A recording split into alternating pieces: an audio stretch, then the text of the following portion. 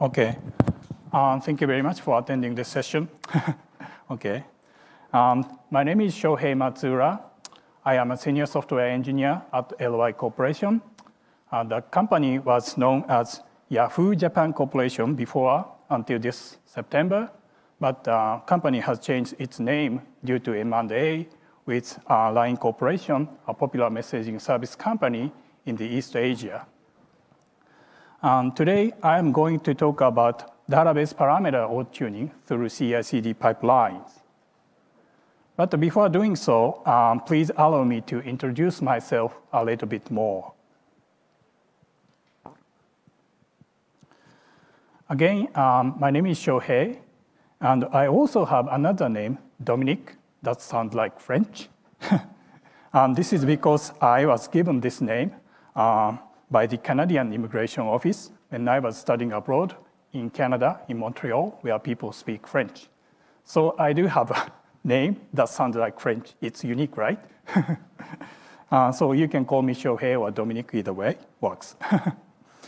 um, going back to the talk, uh, I'm at LY Corporation. I'm in charge of R&D in database system, uh, where I develop in-house storage engine for MySQL and I do research and implementation of new tech trends for RDBs. And prior to joining LY and the Yahoo Japan Corporation, I was a developer of commercial RDBMS and where I developed like query optimizer and concurrency control and disaster recovery feature and etc. So I do love database technology a lot. now, uh, let me illustrate what we are going to talk about today. Database parameter tuning is very hard, right? Because we need to consider many factors at the same time. For example, we need to consider application workload and hardware resources we have, and we also need to decide what parameter to tune to a what value to meet the SLA. So uh, to make the things easier, we use machine learning. We integrate machine learning models into a CI/CD system to automate the tuning process. This is when application developers put their code uh, into a CI/CD system, we let the CI/CD system to analyze the application workload and infer optimal parameter setting with machine learning models and apply the inference result to the target database automatically. That's the topic we are talking about today.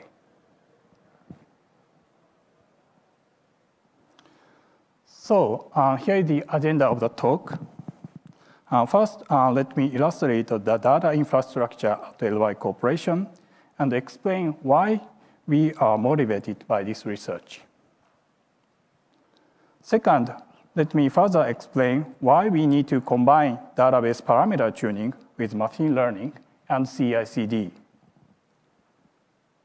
Third, let me demonstrate our system CI/CD tune that executes the automatic tuning with machine learning in the CI/CD pipeline.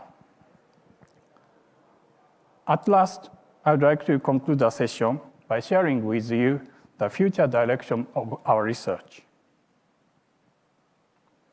Now let's begin. Now let me explain LY Corporation and its data infrastructure.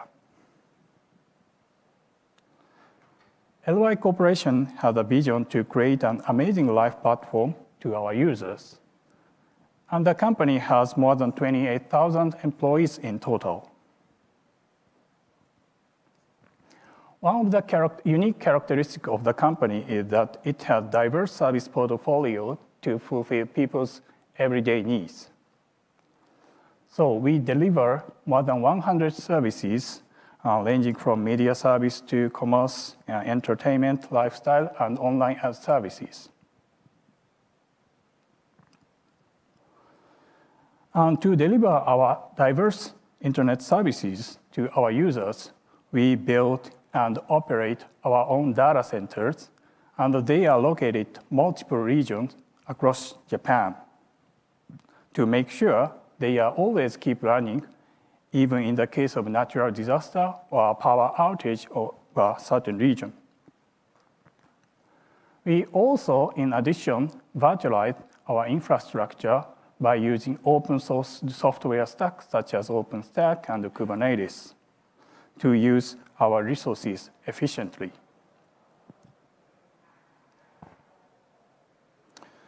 Um, here is a brief diagram of a data infrastructure, and it is made redundant and reliable with OSS software stack.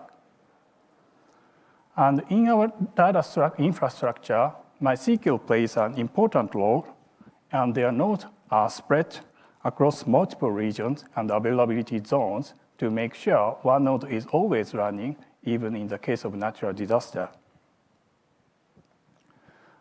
And data are always synchronized across region and availability zone by data replication.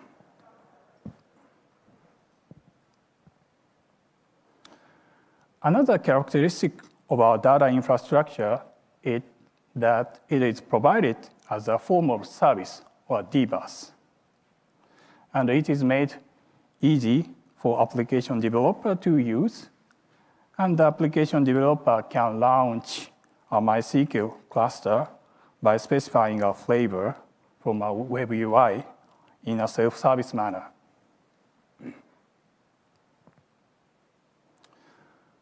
Now, let me explain why we need to combine DB parameter tuning with machine learning first before combining it with CI/CD. First, as I said before, DB parameter tuning is hard because we need to consider many factors at the same time. But it is even harder in DBaaS. This is because in DBaaS, DB instances launched by the application developer on their, zone, on their own without having the involvement of the DBA who maintain the DBaaS environment. So for the DBA, there is no chance to know what the application is doing, and they have no idea what to tune database parameter because they don't know the application workload. In contrast, in old days, um, before DBaaS appears, DBA were often asked to help application developer in schema design and query design and hardware capacity planning, so they knew what the application was doing. So they had uh, the, the database tuning uh, was a little bit easier than DBaaS. Uh, so to facilitate database parameter tuning easier in DBaaS, DB researcher came up with the idea to autonomously tune database parameters according to application workload with the aid of machine learning.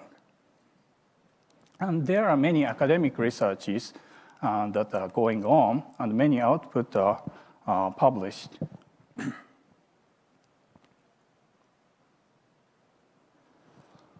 Um, here is a brief description of the database parameter tuning with machine learning and its flow.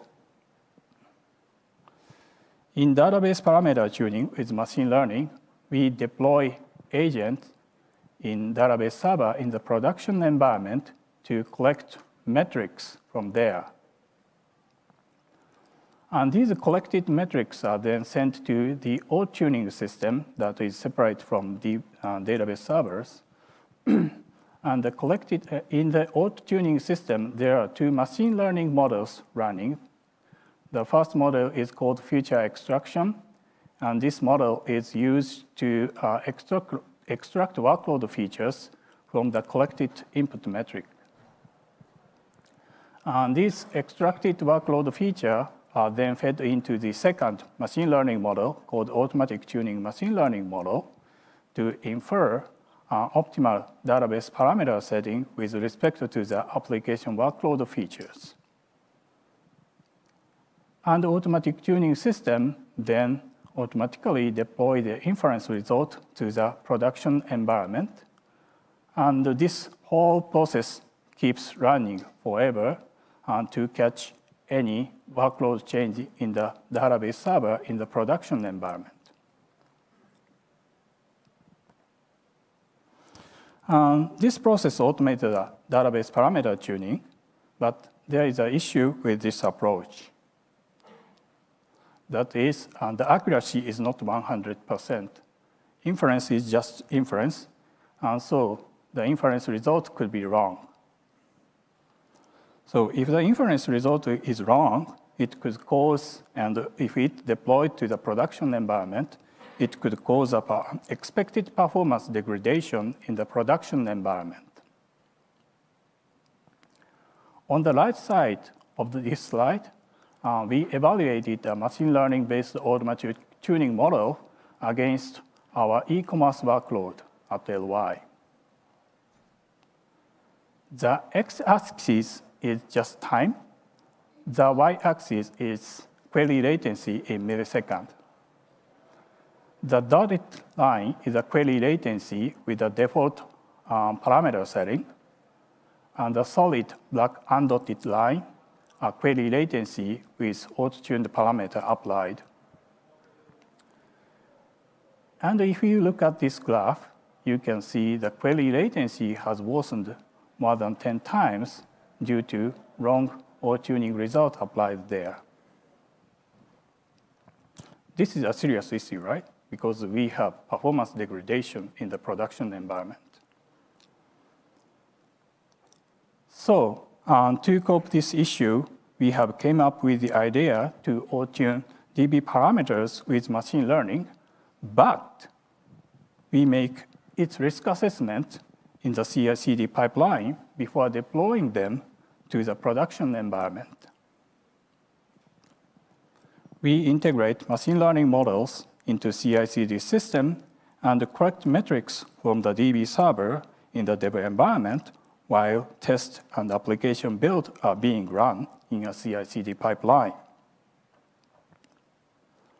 And at the end of the uh, CI/CD, CI/CD, application developers can check whether SLA or performance requirement is met with tuning result or not and they can now decide whether to deploy the inference result to the production environment. With this approach, we can avoid unexpected performance degradation caused by wrong automatic tuning result applied to the production environment.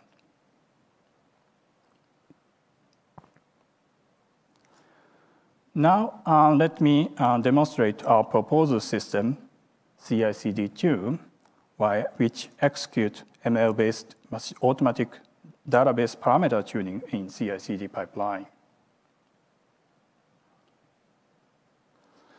Um, it's very busy slide, and we, you know, it's probably hard to see.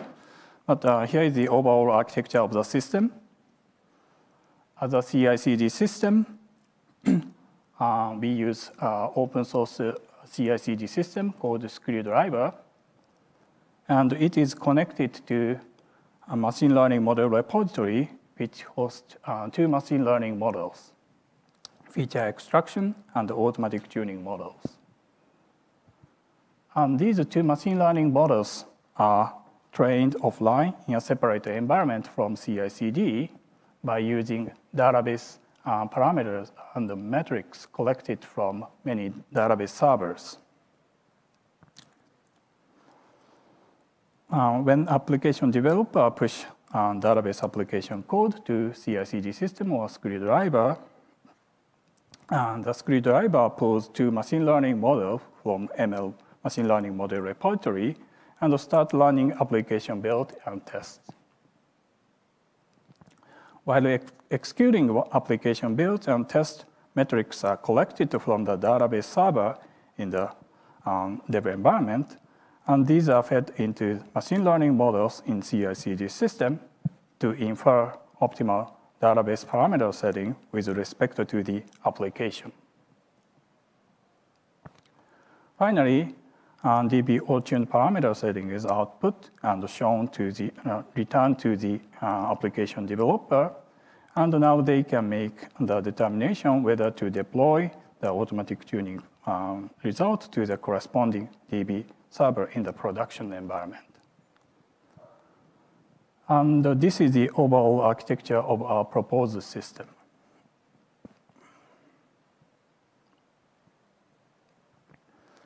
Now, uh, let's see how actually CI/CD tune works. I hope the video works well. uh, in the demonstration, uh, we try to build a simple web application to execute Sysbench workload against MySQL.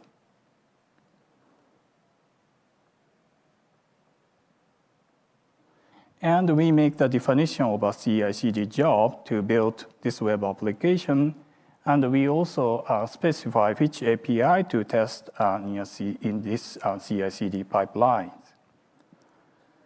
And the application developer pushes this definition together with application code to kick the CI/CD job.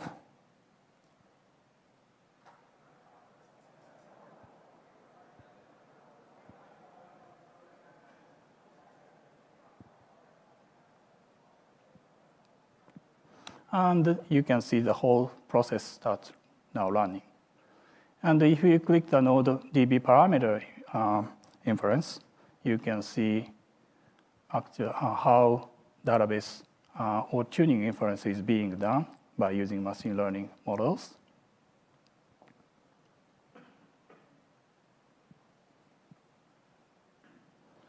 And you can see also the uh, auto-tuned parameter setting in a CSV format. And if you click the node DB uh, risk assessment knob,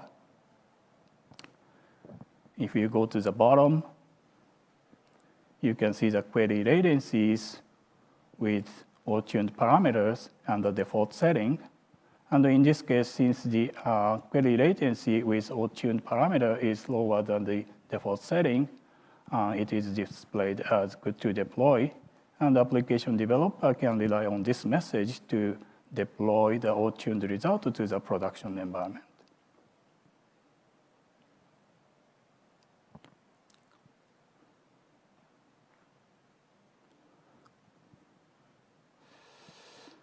Uh, let me just briefly uh, describe uh, two machine learning models uh, used in the demo the automatic tuning consists of uh, two uh, layers. And the model number one is called uh, workload embedders. And this model is used to um, extract workload features. And the second model, and the output of the first model is used as an input of the second model. And the second model is called uh, TPS estimator. And this model infer DB parameters to either maximize TPS or minimize query latency for the given workload.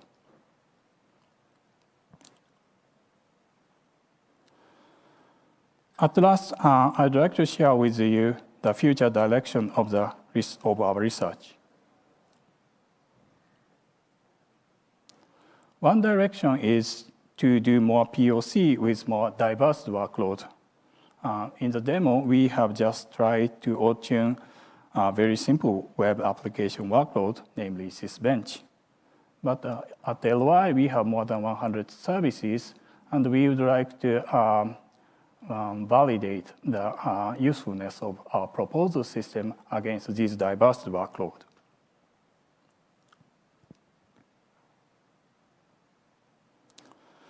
Um, this is this challenge is more fundamental in our proposal system.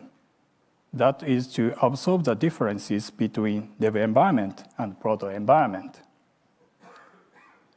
In a CI/CD, we usually use dev environment, right? However, there are always differences between dev environment and proto environment, such as hardware specs or the size of data and and other, many others. So um, we need some way to transfer DB parameter inference result obtained in dev environment um, to the proto environment in deploying them to the production environment. Because production environment has larger data or larger uh, machine. Um, to tackle this problem, we are now collaborating uh, with academia to predict DB performance of a production environment with a given parameter setting from DB performance in the dev environment. And by using this prediction model, we can determine if an auto tuning result can meet the performance requirement in the product environment. And the research is going on right now.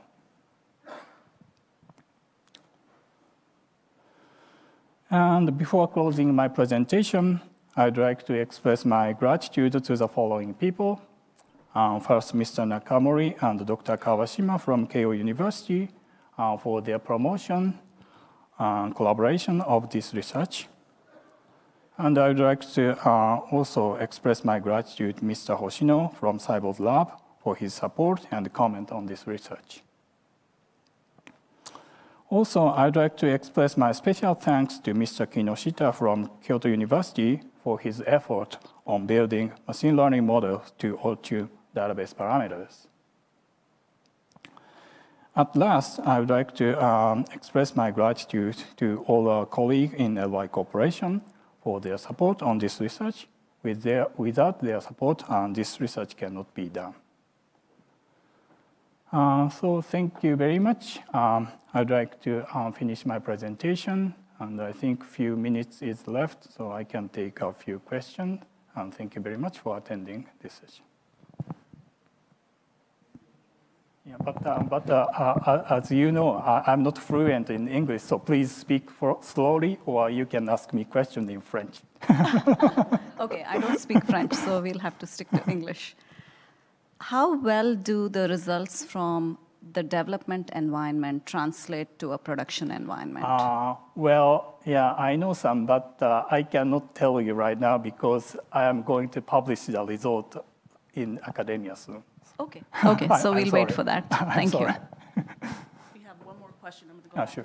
Ah, sure. a little far right.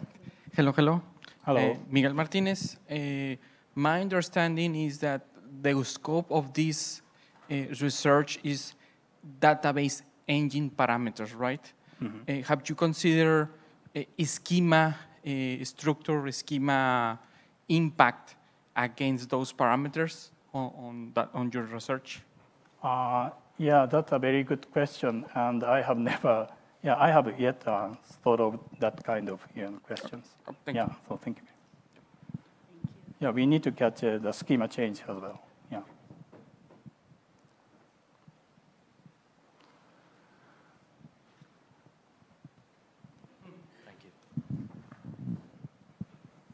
So the same thing, you know, like when you have a multi-tenant shared environment, you know, are there different results when you when you run the same models, and how do you translate them, you know, to specific tenants?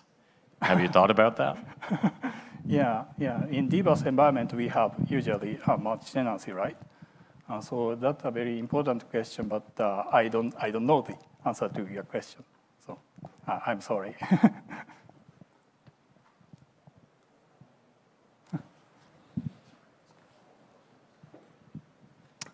As similar to other people, have you considered moving this to things such as um, consuming query logs to provide app developers with suggestions on how to improve their queries mm -hmm. or you know, giving them feedback on common deadlocks and ways that they could improve the application on that side?